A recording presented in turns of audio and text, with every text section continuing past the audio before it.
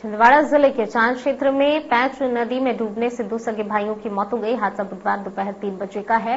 Police के मुताबिक दोनों के शवों को रेस्क्यू कर नदी से बाहर निकाल लिया गया। पोस्टमार्टम के लिए भेज दिया गया बताया जा रहा है रमपुरी निवासी अखिलेश अपने भाई सिवेश के साथ नदी में नहाने गया हुआ था। इसी दौरान छोटे को बचाने के चक्कर में बड़ा भाई भी डूब गया।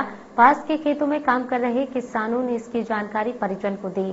टीआई के मुताबिक, बुधवार दोपहर को अखिलेश और उसका भाई शिवेश पैंच नदी में नहाने के लिए गया था। शिवेश नहाने के दौरान नदी में गहराई में चला गया।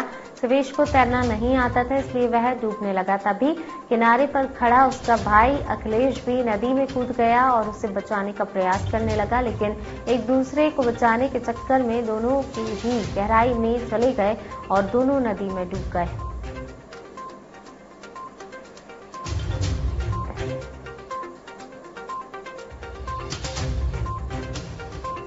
किसी व्यक्ति ने फ़ोन से बताया था कि दो लड़के ग्राम रामपुरी के नदी में, पैंस नदी में नहाते समय पानी में डूब गए हैं। इस सूचना पर तत्काल मौके पर आकर उनकी स्थानीय गोताखोर तलाश कराई गई।